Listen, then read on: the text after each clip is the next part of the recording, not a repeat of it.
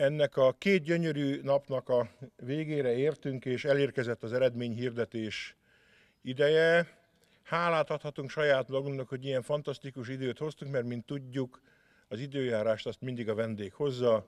Azt gondolom, hogy nagyon szerencsések voltunk, hogy két ilyen gyönyörű napsütéses napot tölthettünk el Kaszón. Engedjétek meg, hogy a protokollban bemutassam a megjelenteket.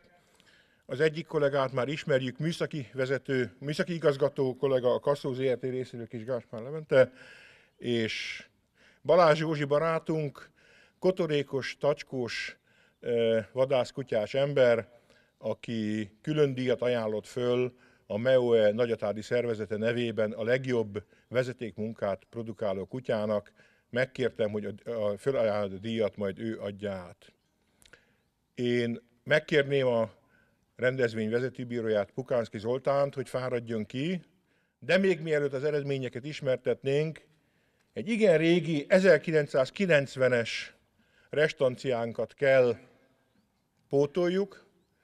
1990-ben rendezte Kaszó az első kupát, innen indult a hagyomány, és ennek a leges-legelső rendezvénynek a győztese Baraga József Lábodi hivatásos vadász volt Sárkánykuti Amanda nevezetű kutyájával. Megkérem Jóskát, hogy jöjjön ki, hiszen 1990-ben még nem volt, fizikailag nem volt elkészítve a Kaszó kupa, ez az ötlet később valósult meg.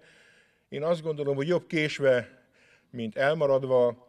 Megkérem a Kaszó ZRT képviselőjét, hogy a 1990-re datált kaszókupát Baraga Józsefnek adja át. Kérek szépen egy tapsot Jóskának.